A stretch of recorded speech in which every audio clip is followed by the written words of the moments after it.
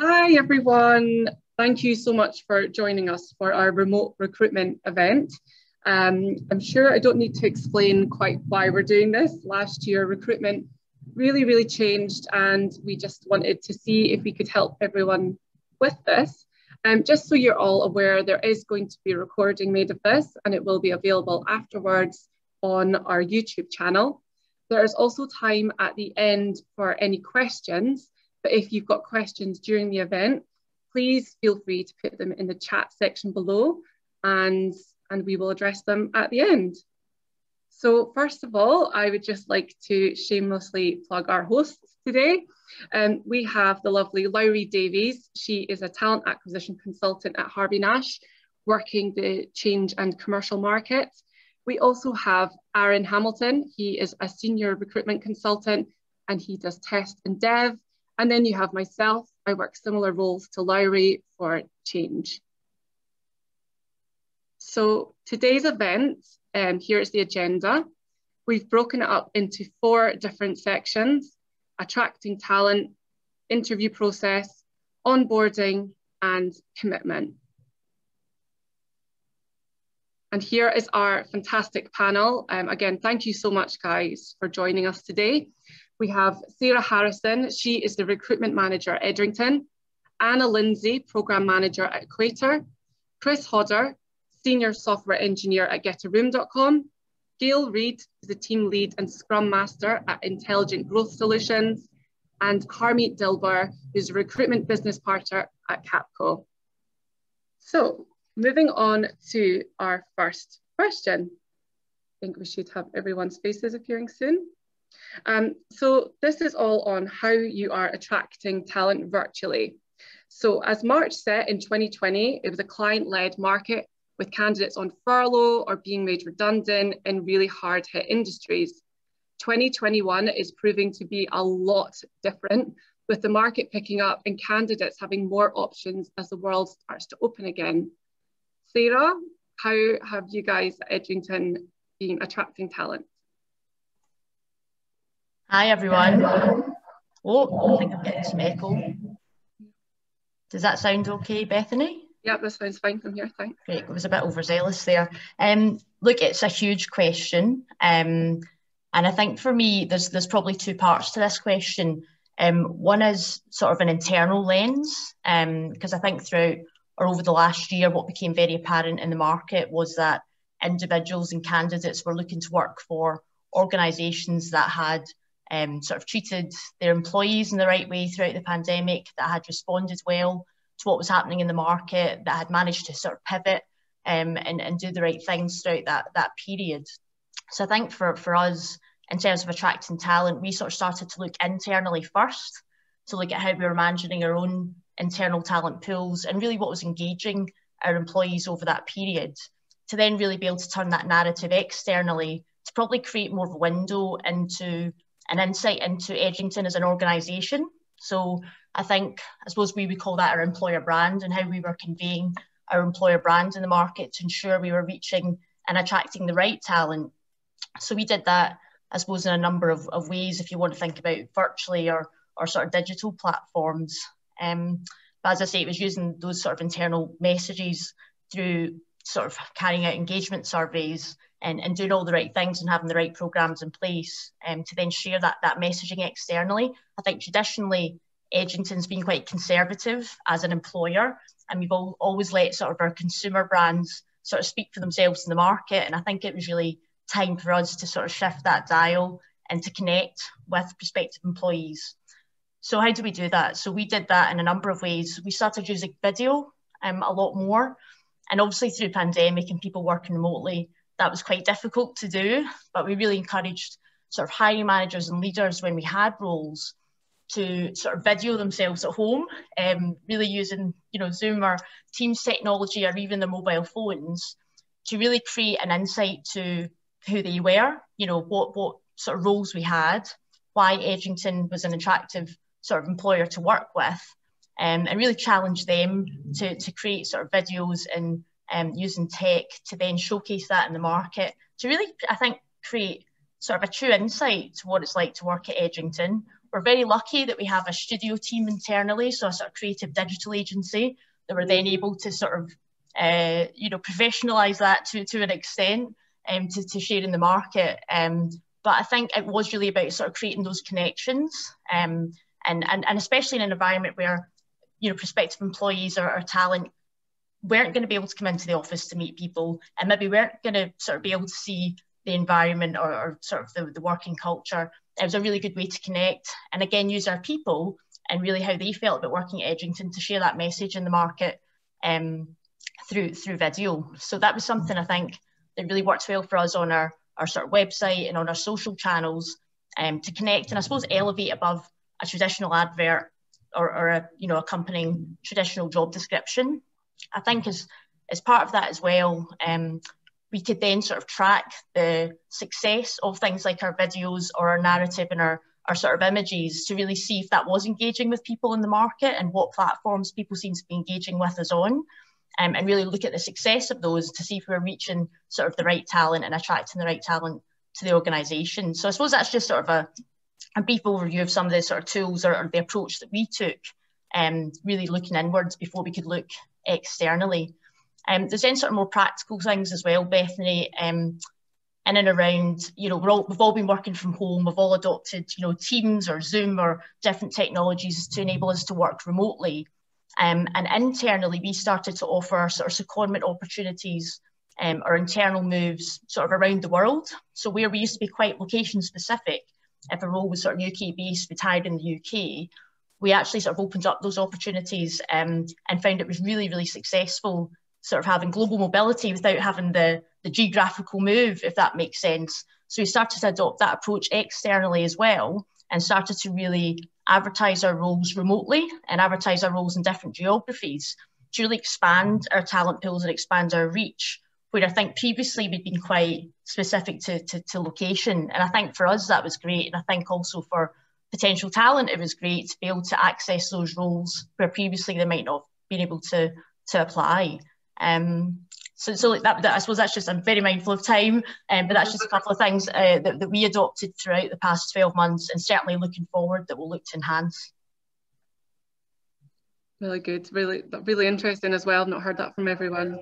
Um, Gayle, did you have some things that you'd like to say? Yeah, I, I think um, weirdly our story at IGS is almost the polar opposite of that. Um, we, we, we've been a startup. Um, so our, our recruitment process wasn't this elaborate thing before before um, pa- the pandemic hit.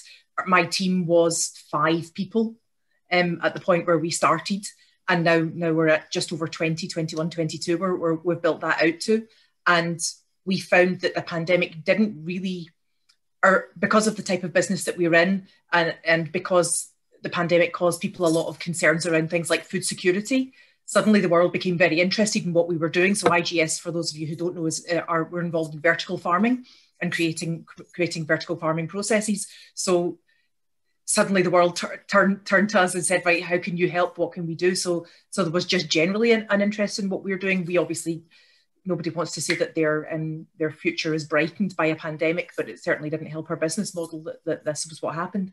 But people were very keen to, to reach into us and find out what was happening there and we certainly didn't see a, a, a slowdown in our, in our recruitment process.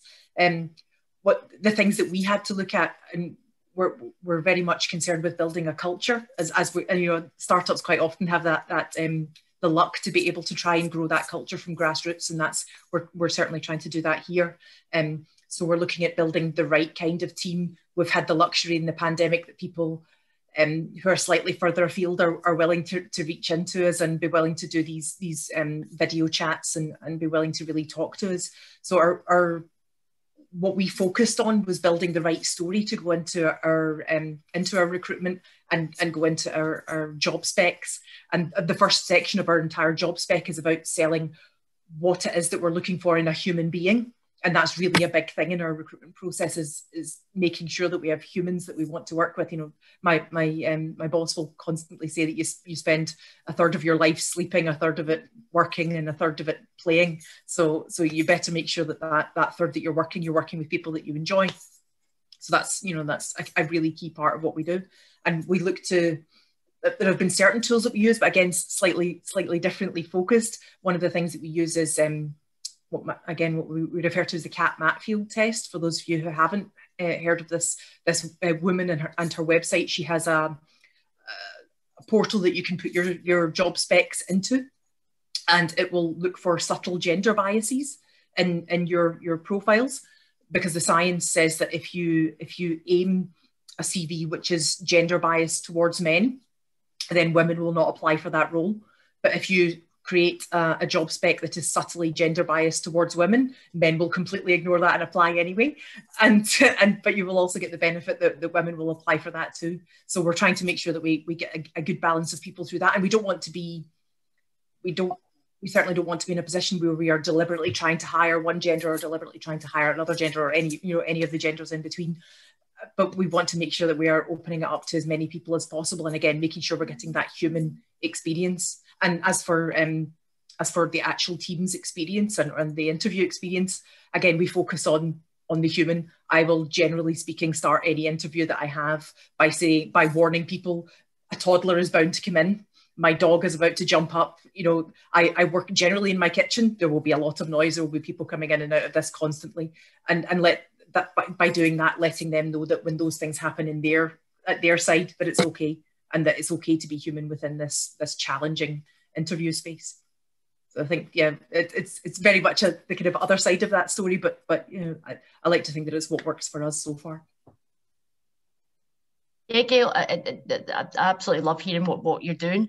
To be honest, I think there's probably quite a lot of synergy. And from what you're saying, because it, it, you know it is about understanding what's important for the organisation, but also what's important for individuals. And I think that is absolutely something that's come through in the last 12 months as we've, you know, seen into people's homes and, you know, seen, you know, as you say, the kids running about. Right now I've got Macallan as my background because I'm in my, my son's playroom um, and you don't want to see all the Lego and things lying around. But there was, it's that word human, that's what really stood out to me. But what you just said, there's an absolute human element where people are starting to make decisions based on what's important to them. So, um, so I don't know if I conveyed this in the right way, but absolutely, we were starting to look when I said inwards. It was thinking about what are our values. You know, how, why do our people want to work here? Sure, it's for different reasons, but but trying to then convey that externally to yeah, reach reach the right people or, or the right talent that had alignment. You know, so just I just wanted to say that on the human element. I like that that phrasing because it's so true. And, and at the end of the day, recruitment and talent is a very human process because we're you know it's a very people led process. So um, I think there's actually more synergy, although we're completely different organisations yeah. from what from what you said. Absolutely, I think even the the um, we're we are very much. Um, you were talking about being able to hire people remotely and, and really encouraging that, and we are actually we're very much a face-to-face team because we're running we're running scrum teams we want to be face-to-face we want to have all those water cooler talks and we're finding that a big challenge at the moment is is yeah um, recruiting people who don't want to work remote and and once the pandemic is over who want to be back in this space with us. But we're we're holding out and and you know it's part of our i suppose our character that we're looking for is someone who wants to be in and, and work with us but also be in the room when we say right we're done working for today. We're going to the arcade and someone who wants to join us in that. Nice. Great. Thanks guys. Well um, we'll move on to the next question then so we've almost touched on it a little bit, which is lovely. Um, what is your virtual interview process? So with interviews just being a mouse click away, candidates miss out on that interview mindset stirred by travel to the interview and that invaluable in-person interaction, such as just building rapport on the walk to the interview room. So how, how have you guys in your organizations been dealing with this virtually? And Harmeet, I'll let you start. Hi everyone, um, Harmeet Dilber, um, resourcing partner for Capco. Um, for anyone that doesn't know who we are, we're a management consultancy focused in the finance sector. Um, it's quite an interesting one because I only started at Capco um, in January there. Um, previously I was with Heineken and then moved across, very, very different interview process.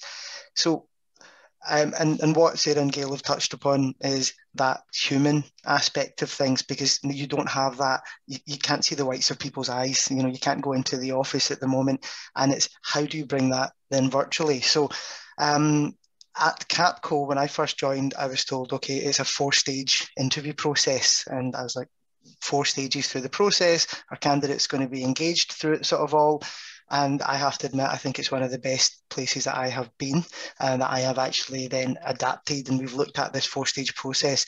And um, I think Bethany will, uh, will maybe agree as well that a lot of the candidates that we're getting through said it's probably one of the best processes they've been through because we make sure that people are meeting four different people from the, the entire organization. So our process is it's half an hour with myself, right? You know, very sort of high level HR.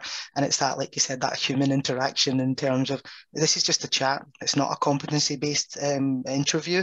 This is um, it's just about them. It's biographical. It's about their CV. It's about what they do and what they are wanting from from their future career. And then once um, in the first stage after they meet me is a one hour sort of interview or conversation with our principal consultant. So it's a deep technical dive into their CV, but again, it's all biographical. So there's none of the describe a situation where that happened or describe a situation where this happened. It's all about tell me about yourself, tell me about the projects. It's all business change and consulting we do. So you know, project managers, business analysts, etc. So it's a, a bit more of a technical dive into their CV, but it also gives the candidate a chance to ask the principal consultant, what does it actually mean to be a consultant with Capco? You know, in terms of the potential business development, sales, or the delivery sort of piece of um, of the role. So again, it's an hour, and again, it's just a conversation. And I've I've uh, instructed the principal consultants, again, don't go too hard. Just understand what they're looking for and what their technical aspect is. Um, and then if that goes well, the next stage is a case study. So again, it's 12, 20 minutes. They get pre- presented with a scenario, and it's again on delivery. It's what sort of challenges will you come across? What does your first week look like? What does your third week look like? So, and again, again, it's a, it's an hour. It's a presenting back of a case study, and again, it's just all about the candidate and their delivery and what they do.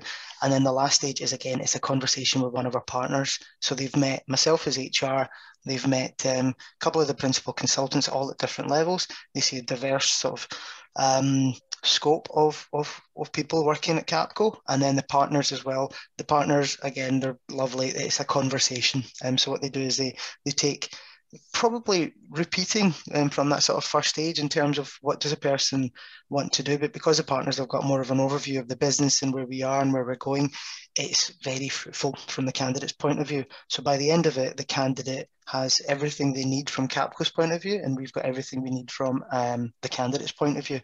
And i think that's quite a good way of doing things, especially virtually. And I, I, mean, I've in the last sort of four or five months, I've recruited in excess of about 80 people. Again, it's business change and consulting. It and everyone has said it's a great process, and I think it's because they have met so many different characters within sort of Capco, and it gives them that sort of illusion of going into the office and having those sort of chats and um, you know meeting um, you know people um, from that point of view. So again, that's Capco's process, um, which I don't know. I, when I first came I thought maybe it's overkill, you know, because if you look at the the opposite of when they used to do that, when people were going into the office, people would have to take half days off. Um, you know, they would have to maybe take a day off to do the interview.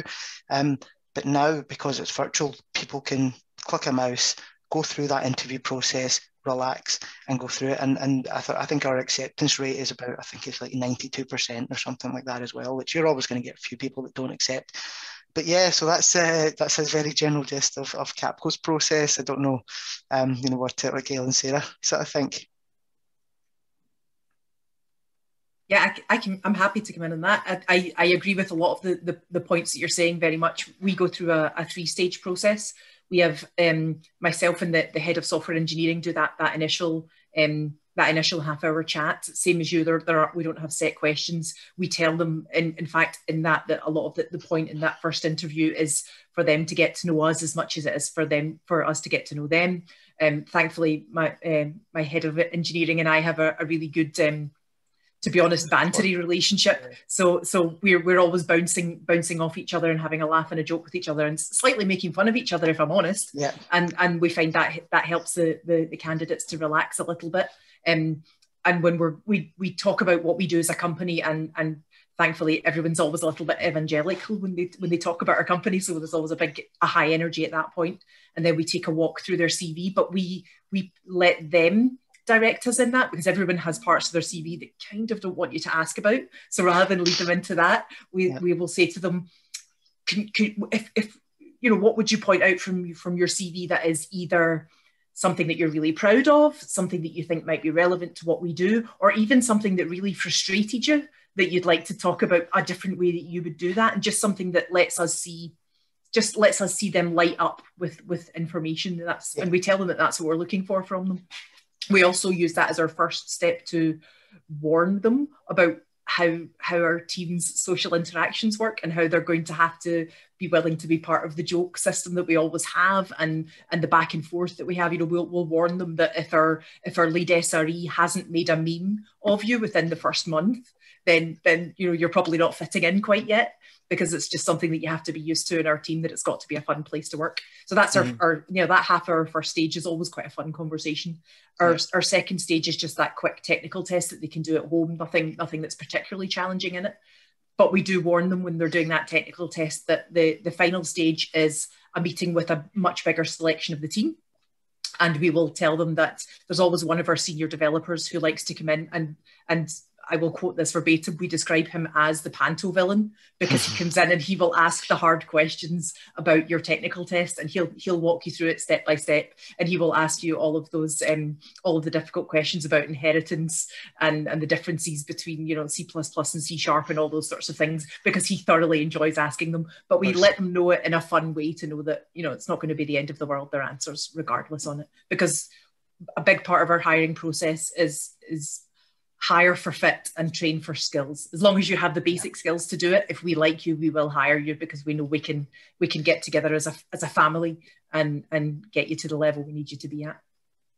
So that's that's our, our three stages are are very much a do we do we like you is most important then can you do the job? If you get yeah. competent with the job then we see if the rest of the team think they can work with you because that's what matters does no, 100%. I think that's important as well from that initial conversation um, is that fit from even from both sides as well. Because, I mean, like I've only been with Capco now since sort of January time and I haven't met a single soul. You know, I've not been into the office. yet. I've recruited so many people. You know, it's understanding that sort of culture and passion. And people are saying, How do you know what it's like? Because you've never met anyone. Well, it's because for each of the interviews. They've got such a wide selection of people they're meeting via the interview, and I, I, I pretty much done the same. Um, and then it's the interactions that I have with actually the senior leadership team. You know, when we're talking about sort of strategies and the way they come across.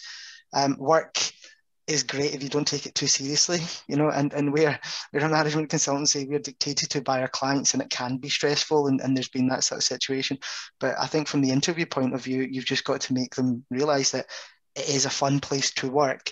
Um, yes, it will be stressful, but you'll also have really good um, a, a good time.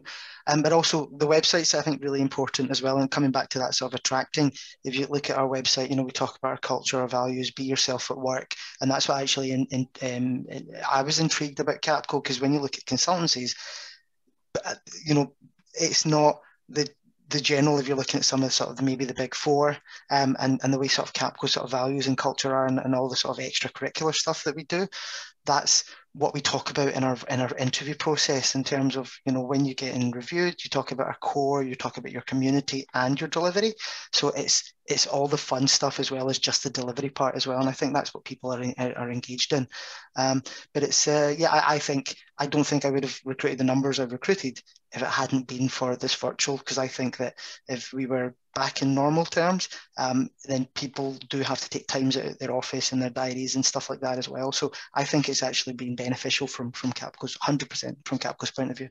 Yeah, I, I agree, Harvey. I think that I, am not looking forward to trying to schedule diaries and meeting rooms yeah. when, when we get back. I, will mirror what both Gayle and Harmeet have said in terms of um, well, certainly diversity of panel or diversity of people that that um, uh, interviewees are, are meeting to try and build uh, you know, an understanding of not just the, the, the, people within your immediate team, but, but people across the organisation. So we've got a very collaborative culture and, and most roles will connect with people cross business unit, cross function, cross the globe a lot of the time. So we are, we, we've really put a lot of thought into diversity of our panels.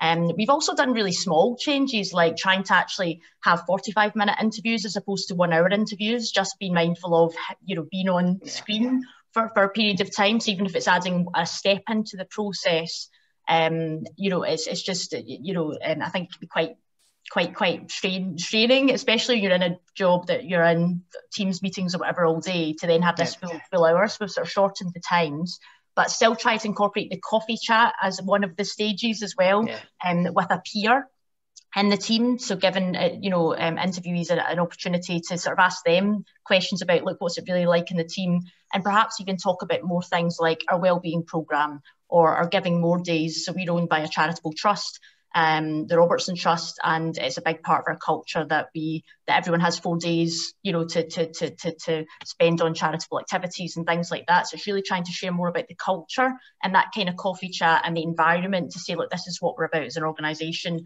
because you know you've got the job description, you've got the technical interview, and, and that that's all about the role, but actually more broadly, why would you want to work here? So we're trying to do all of that. One of the things that's slightly different that we've introduced um, recently, and it's been a bit of a learn, is actually using video interviewing as well. Um, now, I don't know if this landed really well at the beginning because it felt a little bit cold. And again, because we're a collaborative culture and we're really, you know, we're really focused on people. Um, I, I felt there was a wee bit of a disconnect at first, but what we've done, we've really developed it um, as a first stage interview so that we are using the video as a platform to share more about the organisation, the team, the people in the team, and provide colour to a job description for, for, for applicants. But at the same time, just finding out a bit more about them over a sort of, you know, four or five questions basis, almost like a pre, you know, sort of pre-interview, um, to just find out a bit more about them as an individual. Um, what that has done is meant we can interview 10 people at first stage instead of maybe having to shortlist further you know, for, for five people coming in for an hour interview. So we actually get to meet more people through that process. Um, and at the same time, as I say, hopefully it gives applicants more of an insight into the organisation over and above the job description before they come for a formal interview as well. So I definitely will say it's a learn because it's a new technology. And again, it's all, you know, there's, a, there's an argument about the people element of the process, but, but we're trying to just really use it as an engagement tool. Um, and it's, it's, it seems to be working very well for certain certain opportunities. So that's something that's just con- constantly under review um, as well. Mm. That sounds cool. That I'm going to just, just come in. I noticed the, the, the, question that came in, in the, on the, the Q and A there about whether whether liking people stops that diversity happening um, within within your interviewing process. Um, I will say that when when we talk to people, we do talk to them about the fact that what we are we are not looking for clones of the same people. We are looking for what my, my boss refers to as, as diversity of thought within our team.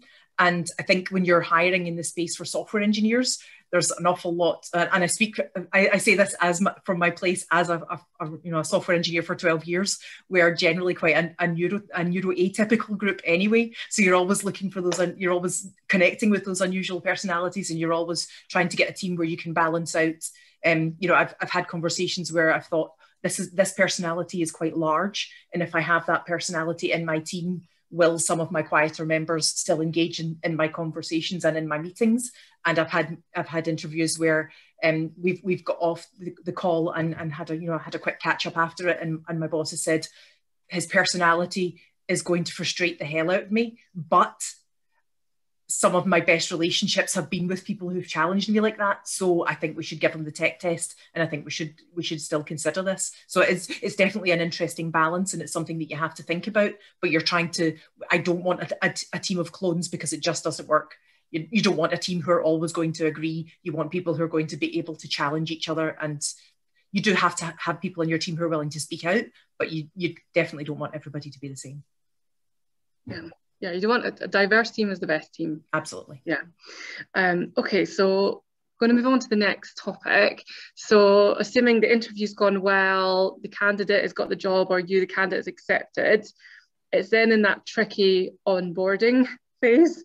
So that can be quite a treacherous time between being offered and accepting and then when you actually begin. Um, that's when the things pain in the neck, which is like counter offers and all these other things that can come in the way. Um, and we've certainly noticed with everything going on right now that area is a bit more of a challenge than it was before. Um, what have you guys been doing to tackle this? And, and we'll start with, with you, Chris, if that's okay. Hi, yeah. Um, I'm uh, Chris Hodder. I'm senior software engineer at GetAroom, and we're basically a hotel availability broker. Um, is the easy way to understand what we do. Um, and uh, I think that in that uh, sort of onboarding phase, before they start, it's really important to keep the comms channels open, especially when we're all so remote from one another. Um, I think, and and that initial um, sort of meeting is a little bit more tenuous than when you've met someone in person. And I think that that's something that uh, Sara and, and Gayle have talked about is trying to sort of build up that connection um, in a more strong way when it would have come more naturally if we'd just met in the flesh. If we'd met in person in the office, it would have we would have had a much stronger connection than we get through this kind of medium. Um, and I think that does make it just that little bit more fraught. Um, I actually changed roles recently myself, and there was uh, quite a lot of delay in getting the contract to me. And I started to worry. I've I've put in my notice already. I, am I going to get this contract? I've not met these people in person, and it was very stressful actually. Um, and I ended up kind of chasing my my new manager again and again and again. Where, where, when's my contract coming through? So I think that um, you know, I, I have not yet been recruiting in this role, but I will be. And I think that uh, what I have learned from my, my previous role, where I, where I did a lot of recruiting, was you need to keep those comms channels open. You need to be very on top of getting back to the candidate and saying, there's been a little bit of a delay, but don't worry, I, I haven't forgotten about you. You haven't sort of disappeared in my inbox. Um, you know, I'm expecting to get this for you. Um, sort of uh, you know, by next week or whenever, just manage their expectations as much as possible. I think that's kind of the the big thing that that I I have learned from as both a candidate and a hiring manager. Um, and post start, I think it's still very very um, uh, tenuous and, and very it's very fraught uh, because um, people aren't you know again they're not meeting people in the same way that they would have if we were all in the office we're all together um, and they don't feel as comfortable talking to other members of the team. And this is something that i saw a lot in my in my previous role is that it was a real challenge getting people to say you know i've started but i don't know what i'm doing. I've started but i, I need to find this thing and i don't know where it is and can you please help me? Um, because they felt like when they were reaching out they were bothering somebody in a way that they didn't feel if if you know we were in an office and they just had to wheel their chair over to me and say you know can you please tell me what i should be doing or how i can get this?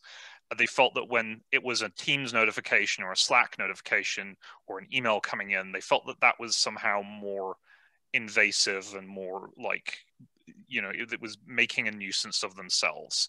Um, and so you know there's there's a lot of work needs to go into um, making them comfortable in the new team and uh, you know helping them communicate with other people. I don't want to sort of spill into the next topic of commitment too much but i think there's a you know we've had to do a lot of work there um, of of just making people comfortable and, and feel empowered to speak out and to ask for help. And you know make them feel they're not bothering me by pinging me and asking me what they should be doing you know? Um, i would rather they did that than sit and wait till the next stand up. Um, and in fact that that's a very much a losing kind of path there where they they end up waiting to next stand up to to speak up and then people think what what were they doing? You know with that whole time.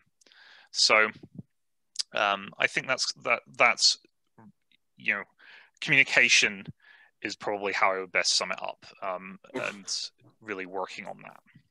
I think um, I can probably build on that as well. So I've recently been a candidate and um, left and then moved to my current role. So I'm Anna Linzi. I'm the program manager at Equator. We're a digital transformation agency, and I've kind of gone from being candidate to hiring manager for for roles in our team.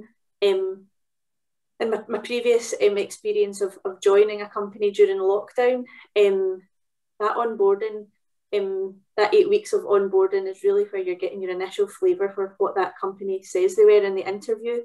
So in the interview, we've been told we're going to do things differently. We're hiring you because you can bring something different. We're going to be more innovative. These are all the things we're going to do. And then your onboarding experience happens, and it's kind of where everything stops. So um, there was an issue with getting an employment reference. That was instantly my problem, which Harvey Nash ended up um, sorting for me. Um, and that's the kind of early warning sign that you're like, oh, maybe maybe not, but you give them the benefit of the doubt and, and you keep going. Um, obviously, in a lockdown situation, we're, we're working from home. I, I, think at that point that I joined that company, I think was maybe October time, so it, it wasn't necessarily new. The, the, the, on, the, the recruitment had been ongoing for them, um, but they hadn't quite um, adapted to our, to our new normal. So um, they didn't have a remote onboarding experience. Um, so I had to go into had to go into the office, um, a kind of clunky startup, um, and I went home with a laptop that didn't work. Um, and then I was back the next day to, to then um, fulfill that that onboarding. Um, and that kind of sets the scene before you've even started to say this company's values are not quite what have been pitched to me and oh no what have I done and if you get that wrong in that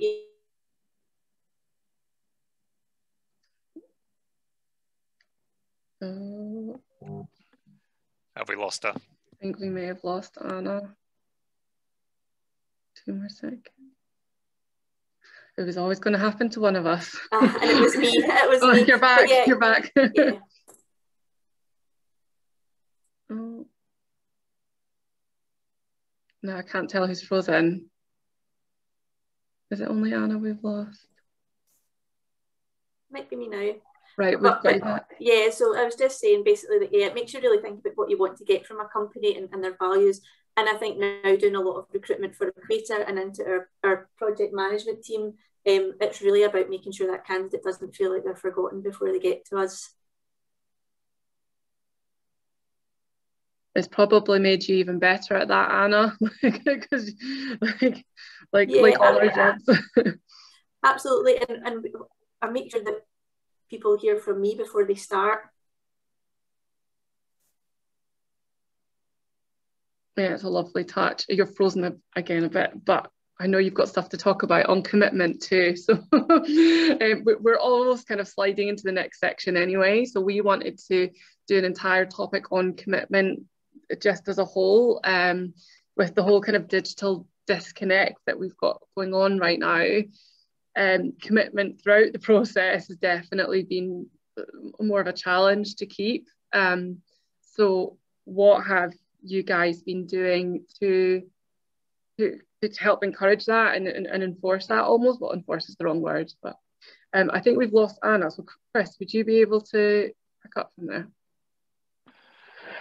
Yeah, I, I took this topic to be quite broad and, and covering um, both that you know getting the person on board and then keeping them on board after that and, and integrating them into the team. Um, so I, I, hope I'm covering the right stuff here. But um, yeah, as, as, I was saying, I kind of slid slightly onto this topic. Um, I have seen lower levels of, of commitment. Um, I've seen um, that at times uh, people have dropped out of the interview process with very very little warning or just not even shown up to an, an interview that you know they had booked. Um, and i think uh, without uh, you know repeating myself too often there has to be quite a bit of communication there and making sure that you know uh, we're, we are talking to them frequently during the process and and keeping them up to date on what is going on. And then after that, when people are on board, I've seen problems in, in, in getting them feeling that they're part of something when they haven't, you know, they haven't sat in the office, they haven't sort of, um, you know, met everyone. And I think that has been a challenge as well. Um, what I found has helped quite a lot is we did a kind of buddy system. So I assigned an, an engineer who was the kind the onboarding buddy for um, a new candidate, and um, the the idea of this, and it was it was made clear to both the the the, you know, the new hire and the buddy that that it is the buddy's priority to help you and to to kind of you know sit on a call and get to know you a bit and and um, kind of help you integrate into the team and be there to answer the questions. So it's not, you know, you're not sort of invading their time to go and ask them for help. Um, oh, we've got Anna back with a bright new background. I know. Welcome to my dining room. um, yeah, yeah. Um, I can probably. I heard some of what you were saying as I was frantically moving room. Um, again, from, from a candidate experience um, in the last place that I joined, um, you need to be more than just a bum in the seat and a, and a tick box in a recruitment exercise. Um, so what are we going to do to demonstrate that? So when I joined Place Before I Am, um, I didn't meet my boss for four weeks. Um, I had no interaction. Um, I got buddied up with a contractor who wasn't necessarily aligned to making sure I was up to speed. Um, and then there was no kind of team introduction. So my introduction to the team was frantically searching through the org chart to figure out who, who's in my team because your interaction is just the, the four people you see of a day on on Teams or, or Zoom. Um, and it's really important to, to get that right. So from a recruitment point at Equator, um, it's for me, it's very much about um, how you feel in that role in the first couple of weeks. How are you settling in? Are you meeting people? Are you speaking with people? Um, and the commitment to that onboarder is my responsibility as a line manager, but also our team. So I meet with them, I get them on board, I talk to them before they start. Um, I have a 10 minute catch up with them every day to make sure that they have seen someone. Um, and then mm.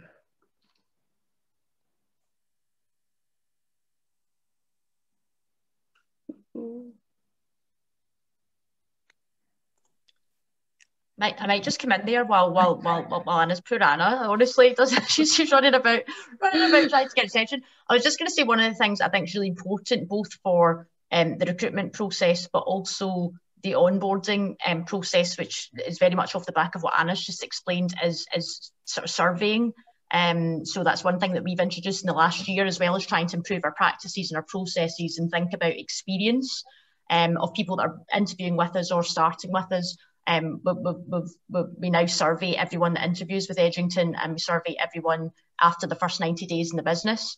Um, I mean, okay, granted that might be too late by the time you're 90 days in, but, but what we're trying to do is build that picture and get an honest view as to how we're managing it and what we can do to improve because you can try all the you know you can you can try and improve your processes from your perspective but again from both what, what christopher actually and anna both said it's about your personal experience and what's important to you so um, you know, surveys don't need to be really long. They don't need to be really, you know, in depth. It's just giving people a platform to say, look, this works really well for me or this didn't.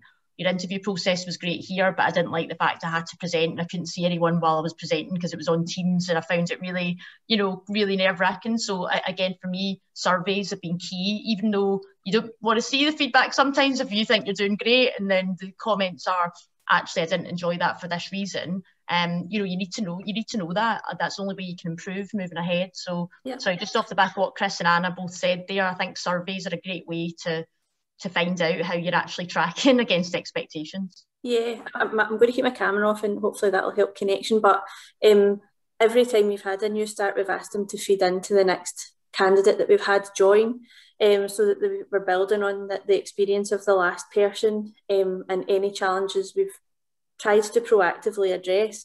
Um, starting a new job in lockdown um, and remotely isn't for everybody's character and we're not going to be able to get it right for absolutely everybody because it, it, is, it is different um, but we've definitely adapted what we do as as each person has come in the door um, we, we have had people come and, and, and leave relatively quickly um, but could be challenges of the role as well.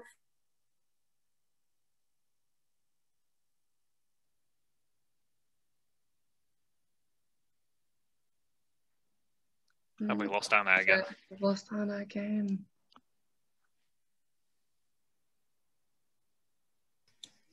Okay. I can come in a little bit there just to say that I think we've realised that we haven't always been the, the, best at it as as we've we've come on to the point where we've actually asked um, some of our, our most recent recruits to, if they would help us to create that onboarding process because the people who are trying to create it at the moment have never come on board during the during this situation. So that's uh, similar to what Sara was saying just making sure that we check in with them and let let the people who are experiencing it feedback how they would like it to happen is working for us at the moment.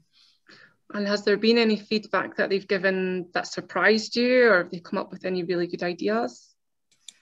A lot of it is is very much um, around that space of just not being able to have, as, as, as Christopher was saying earlier on, we some of the easiest points as a new start to interrupt somebody is when they've gone to make a coffee and they're walking back to their desk or they've gone to use the loo and they're walking back to their desk and you don't feel as bad interrupting their workflow because you know it's already interrupted. So uh, one of the things that we've been using was for a while was Discord, the, the kind of gamers chat to always keep an open chat, what uh, audio chat going on in the room, so that it felt like even though we weren't in the same room, we could hear each other clicking away on, on keyboards, and and that way it was easy enough just to shout out, "Could could somebody help me with this? Can I sh- sh- screen share with someone?" And another voice in the room would help you do that. So so those things have been quite interesting. But then, yeah, there, there, there, was definitely some negatives that came back from it as well that we went actually we do have to change this we're going to people are feeling are feeling like they can't interrupt if they don't have that audio that's a brilliant idea. I wouldn't, I wouldn't have thought of something like that because you do feel bad, don't you? Being like, sorry, me again. yeah. I just say as well, I think that although it's been challenging for everyone, I think there's some real opportunities that have come from from from from working remotely in terms of access to people. So you know, we've been doing sort of a 10 minutes with um, with our you know exec team and senior leaders and sort of sharing those those interviews globally you know how are they hand you know how have they found things and what are their challenges. And and and, and I think there's been a lot more access. So we actually set up a global digital induction quarterly with the chief executive and the global HR director. And every new starter globally in that quarter gets an hour and a half with the chief exec and the HR director and a whole, you know, the, the whole host of things about our strategy and our approach. And, you know, that wouldn't have happened before. You know, you wouldn't get time with Scott McCroskie because, you know, he just wouldn't have had the capability and you wouldn't have got FaceTime if you're in a different country, in a different region. So even though there's been parts where have been really challenging uh, for new employees and, you know, I think there's really great things like that to go, uh, you know, a month in, you're going to have an hour and a half open forum with the chief executive and global HR director to ask them anything and to hear from them. And then the last one we held a couple of weeks ago, you know, Scott was actually talking about our new vision and strategy that he hadn't launched yet. I think he was launched it in like that week to, you know, to, to everyone globally. So that the, know, the new starters are getting this complete, fresh, new vision of Edrington, you know, from, from, from straight from the chief exec. And so, so, you know, although there's challenges, I think there's some great things that have come as well in terms of accessibility um, and reach to, to people in the organisation. So I think we've also got to look at those positives and go, wow, that's great um, you know that you get you get the opportunity to do that through this adoption of technology and you know and trying to engage people um, that might not we might not you just wouldn't have done that a year and a half ago. You know it wouldn't have you know it wouldn't have um, it wouldn't have been possible. So um, I think it's also good to, to focus on the, the positives like that. Yeah that's a brilliant positive. That is great. It, it also kind of takes away the hierarchy as well isn't it? Like if you're speaking to someone super senior um, someone was saying to me the other week but I can see they've got the messiest kitchen behind them and I loved it. such a good point. Um, have been great, but we, um, I know we've got lots of questions. So I'm going to let Lowri take over from here with some questions from, um, from our attendees. Hi everyone. So thank you so much for some of your points. We've got some good questions as well. Um, one that has been answered in the chat, just in case anyone was wondering, um, was the tool that Gayle had mentioned in terms of um, gender bias. Um, if you slide along to the Q&A and go to the answers part, Gayle has kindly put the link in there uh, for gender decoder at Matfield if you want to have a look at that. Um, so yeah, so leading on from sort of the onboarding part of thing, uh, part of things. So we've got how do you help new starters feel part of the team and get to know people when they start from home? Um, part of that was covered, but have you got anything extracurricular this person's raised that is difficult not having the people around you, like you said, to sort of invite for lunch on your first day? So as a team, have you guys been doing more to, to do that as well? I, I would say one of the tools that we've been using is uh, since, since the pandemic started, since we all went remote, we have something called the working from home review that we do once a week, which is pretty much a group therapy session where we, we go around the room and we give each other we give ourselves a, an, a score out of 10 for how we're feeling not just about how we're feeling about work how we're sleeping how home life is are we losing our minds what have been the latest um, what have been the latest things that have come down from the Scottish government? What are the what are the new restrictions? Um, and when once that finishes up, we for the rest of the the hour we go into what box sets have we been watching, what games have we been playing, what books have we been reading, and you know everybody has to have their camera on for that meeting and it's it's that little bit that forces you to slightly expose uh, a little bit of your life and, and talk a little bit and you see everybody else doing it. So once you've seen the rest of the team doing it that becomes easier to do. But that's that's not specific to onboarding but it's something that, that we're doing is that regular check-in.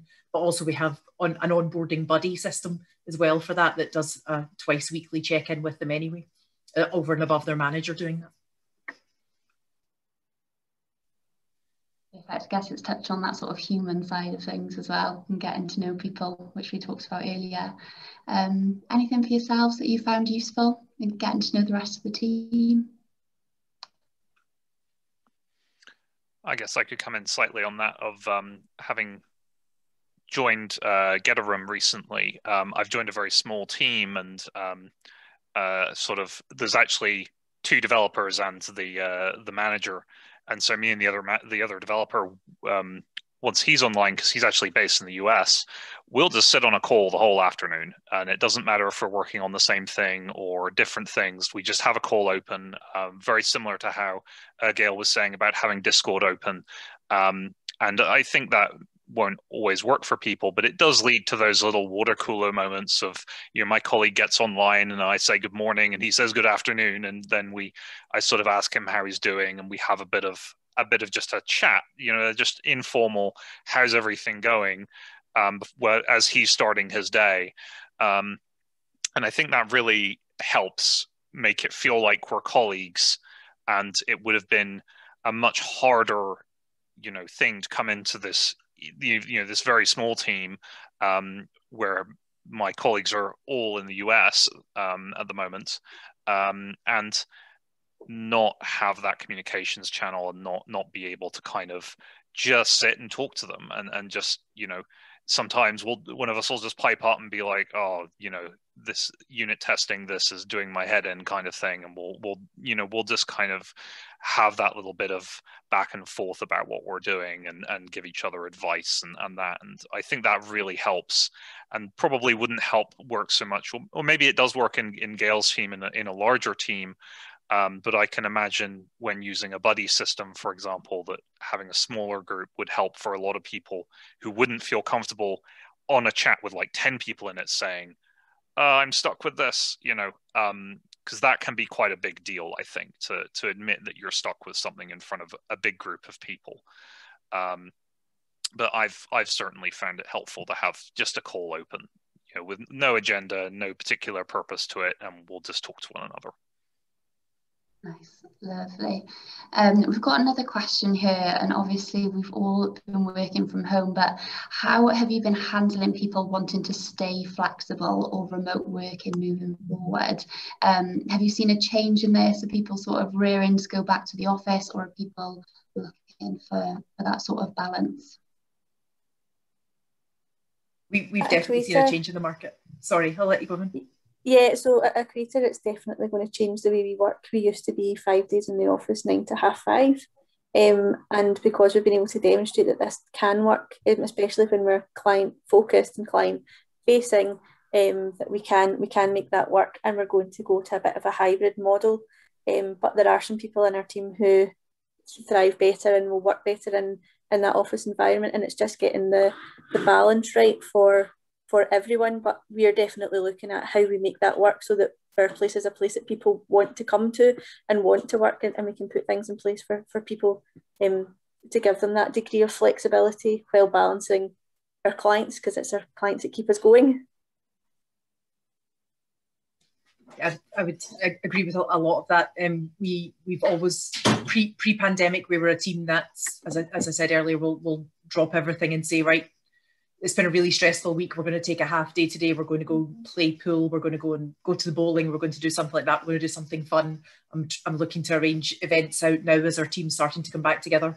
And we would love for that still to be the case that we are an on-site face-to-face team that want to be together. We've always had the rule where if there's something, some reason where you need to work from home, like, you know, your boiler engineer coming, any of those sorts of things that you absolutely can, but we want that to be, to be not mandated days and and we have definitely seen that that has put people off from coming to us. Um, but we're at the moment we're sticking to our guns on it that we want people who want to be back in that office. And perhaps that's one way of screening out personalities that don't quite fit in with us and that aren't going to be as social and as and as, as warm into our team and want to integrate with our team. But at the moment and by no means is that set in stone that's what we're we're, we're still sticking to our guns and trying to encourage people to do that yeah i find this really interesting because i think the general consensus is people want like people think everyone wants to be at home um whereas actually there's a lot of people I speak to that, that in fact there's someone the other day that I spoke to that said before I come in for interview I just want to check are you going to be back in the office? Because I, I'm a people person I want to be around people I want to come into the office. Um, it's been you know great being at home but, but actually I'd rather be majority in the office full time in the office whereas I think most of us expect that everyone wants the opposite because that's been the new thing and uh, we, we, we're pitching 50-50 um, towards the end of the year when you can go back in we are a very collaborative culture we would like you know, to, to for pe- you know for people to be in the office 50% of the time or thereabouts. But I think we've got to be mindful. There's some people that want to work 100% remotely, and then and then there's others that can't because of the nature of their roles at Edrington. So if they work in you know distillation or if they you know they work in global supply chain, you know they, they you know they, they they've worked throughout. So there's people that will be in probably 100% of the time. So it's, it's probably for me, it's about striking a balance, but it's also ensuring we can be, you know, we can we can attract a broad talent pool because we don't, you know, we don't want to mandate so much that we're, we're missing out on on great people.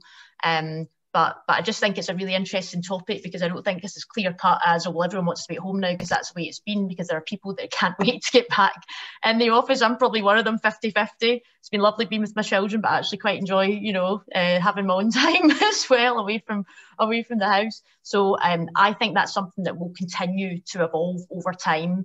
Um, and, and, and it will just naturally settle somewhere you know that that that that that that works for everyone but it, it's you know we've one extreme and now we're starting to move back to okay what what's actually going to work moving ahead um so i just think that'll be quite fluid uh moving ahead I can't wait to be back in. I hate working from home. um, well, listen, everyone, thank you so much. Um, Harmeet had to nip out, by the way. He sent his apologies. I, I did know in advance that that would happen.